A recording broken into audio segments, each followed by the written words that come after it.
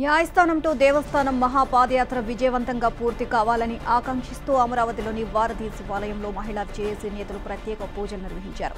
కార్తీక మాసం తొలి సోమవారం కావడంతో శివయ్యకు దీపాలు వెలిగించి ప్రత్యేక పూజలు నిర్వహించారు. ఏపీ ఏకైక రాజధానిగా అమరావతిని ప్రభుత్వం ప్రకటించాలని రాష్ట్ర ముఖ్యమంత్రి జగన్మోహన్ రెడ్డికి పరమేశ్వరుడు మంచి బుద్ధిని ప్రసాదించాలని మహిళా జేఏసీ నేతలు కోరుకున్నారు. తమిళనాడు రాజధాని చెన్నై భారీ వర్షాలు ముంచెత్తాయి చెన్నై నగరంలో పన్నెండు గంటల్లో ఇరవై మూడు సెంటీమీటర్ల మేర వర్షపాతం నమోదైంది.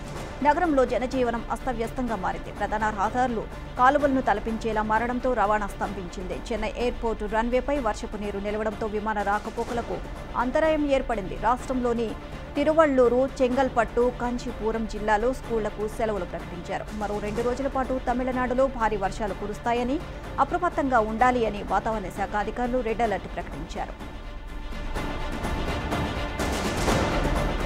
కరీంనగర్లోని ప్రగతి నగర్లో ఓ అపార్ట్మెంట్ మూడో ఫ్లోర్ నుంచి లిఫ్ట్లో కిందకు దిగుతూ గూడెపు అశోక్ అనే వ్యక్తి అనుమానాస్పద స్థితిలో మృతి చెందాడు. స్థానికంగా లాండ్రీ షాప్ నిర్వహిస్తున్న అశోక్ అపార్ట్మెంట్లోని ఓ ఇంట్లో ఇస్త్రీ బట్టలు ఇచ్చేందుకు వెళ్ళాడు తలకు ఒంటిపై తీవ్ర గాయాలతో లిఫ్ట్లో పడి ఉన్న ఆయన్ను స్థానికులు ఆసుపత్రికి తరలించారు. అప్పటికే అతను చనిపోయినట్లు వైద్యులు ధృవీకరించారు. అశోక్ను హత్య చేశారని బంధువులు అనుమానం వ్యక్తం చేశారు. పోలీసులు అనుమానాస్పద మృతిగా కేసు నమోదు చేసుకుని దర్యాప్తు చేస్తున్నారు. తూర్పుగోదావరి జిల్లా కే. గంగవరంలో చిట్టీల పేరిట ఘరానా మోసం వెలుగు చూసింది చిట్టీల నిర్వాహకుడు కర్రి వీరాంజనేయ సుమారు.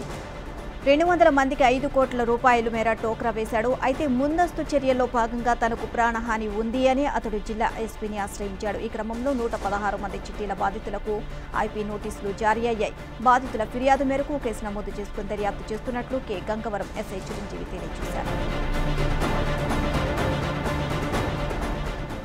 హైదరాబాద్ చాదర్ఘాట్ పోలీస్ స్టేషన్ పరిధిలో అర్ధరాత్రి దోపిడీ హత్యాయత్నం ఘటన చోటు చేసుకుంది. మలక్పేటకు చెందిన ఇద్దరు యువకులపై గుర్తు తెలియని వ్యక్తి దాడికి పాల్పడ్డాడు. వారిద్దరిని కత్తితో బెదిరించి మొబైల్ ఫోన్లు కొంత డబ్బు లాక్కొని పరారయ్యాడు. బాధిత యువకులు చాదర్ఘాట్ పోలీస్ స్టేషన్లో ఫిర్యాదు చేశారు.